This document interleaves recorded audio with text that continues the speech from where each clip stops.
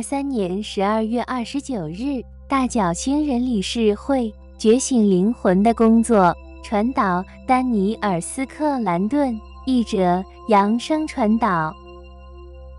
大家好，我们是大角星人理事会，很高兴与你们联系。我们总是对人类处理你们在这个特殊的扬声一生中给自己带来的所有挑战的方式印象深刻。对大多数人来说，无论醒着或睡着，这都不是一条容易的路。你们可能会认为，在这个时候保持觉醒会让你们更容易在场，但作为觉醒的灵魂，你们不太可能把某些事情隐藏起来，或者用药物、酒精或其他抑制情绪的方式来麻痹自己。这是一切事物都浮出水面的时代。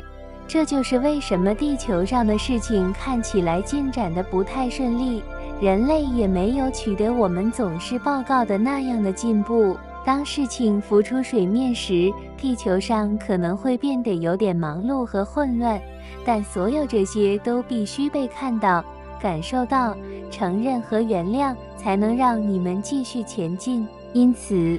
无论你们现在在世界上看到什么让你们心烦意乱，请记住，复制、贴上和发布并不是你们的工作，这样其他人就可以同意你们的观点，认为那个人、团体、地区或情况有多可怕。在那一刻，你们的工作就是对那些正在做的可怕事情或正在说的可怕事情的人提供宽恕、释放判断力并同情他们，因为他们这样做是从与源头不一致的地方开始的。没有比这里更糟糕的地方了。你们都知道这一点，因为你们也都经历过那里。因此，你们的人类同胞需要的不是更多的谴责。更多的指责，而是他们需要被视为迷失了方向、表现得像一个发脾气的小孩的源头能量存有。这就是你们在地球上将意识层次提升到更高层次的方法，也是唯一的方法。没有旁路。此时你们无法回避你们的工作，因为如果你们不能原谅他人并同情他们，你们也无法为自己做这件事。你们自己有很多面相，你们现在不是唯一的一个。你们带着其他人，有时在你们的能量场中，他们需要爱、同情和宽恕。许多觉醒的人会去找疗愈师或类似疗愈师的人，要求移除那个实体或那个执着，而实际上他需要整合。这次你们所处的一切都是关于融合，而不是分离。不是光明战胜黑暗，不存在灵性战争，战争也不是出路，无论是物质的还是形而上的。当然，那些觉醒的人都知道这一切，但有时有些事情可能会让你们感到不舒服，以至于你们忘记了。因此，我们在这里提醒你们，因为当我们看到你们走上正轨时，我们绝对喜欢它。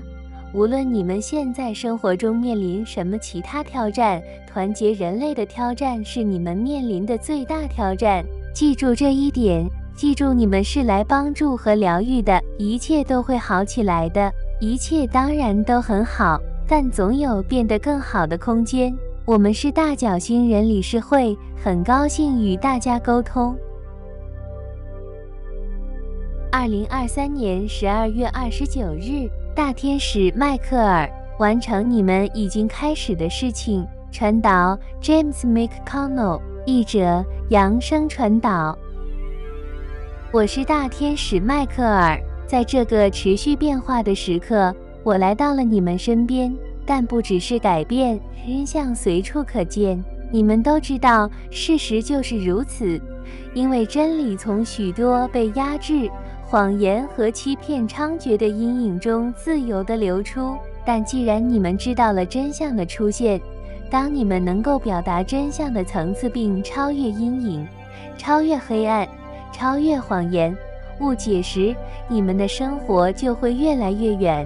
你们的意识正在扩展，因为它可以开始掌握很多年前你们无法掌握的事物。正如现在有很多人还不能完全掌握真相一样，因为这违背了他们的信仰体系。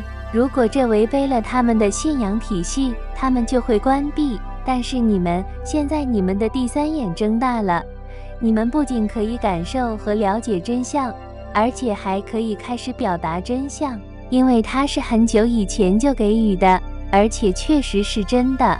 真理将使你们自由，而真相随着它现在越来越多的出现，正在让你们所有人获得自由，因为你们现在正走出面纱，在很多情况下。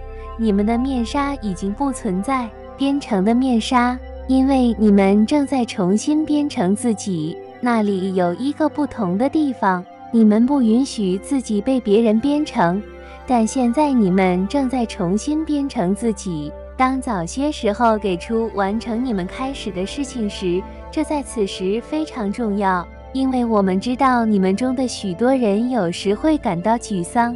你们中的许多人都关注各种情报来源、各种媒体来源所提供的资讯，并不是说你们相信它，而是你们的一部分屈服于这种编程，哪怕只是片刻。你们让它再次渗透进来，但因为你们越来越接近终点线，也因为如此，你们现在可以看到超越城市设计的东西。地球上的许多人也将达到这一点。目前比你们相信的要多得多，因为你们中的许多人认为那些已经觉醒的人就是全部，但还有很多很多的人将会觉醒，就像你们一样，完成你们开始的事情。不要再屈服于旧的编程，做你们自己，成为你们所知道的神圣存在。如果你们完全相信这个信念。你们将能够在你们的生活中表现出无穷无尽的东西。事实上，在帮助他人在他们的生活中表现出来的东西上也是如此。这一次，我的朋友们，这是你们从一开始自愿来到这里就一直在等待的时刻。现在是时候，几千年后，你们终于来了。不只是结束，而是新篇章的开始，旅程的新境界。事实上，旅程没有终点，只有许多结束和许多开始。但这个结局，这个结局是相当重要的。如果从整个创作计划来看，这个结局是巨大的，而开始将比结局更伟大。我是大天使迈克尔，现在我让你们处于和平、爱和合一之中，并希望你们继续前进并完成。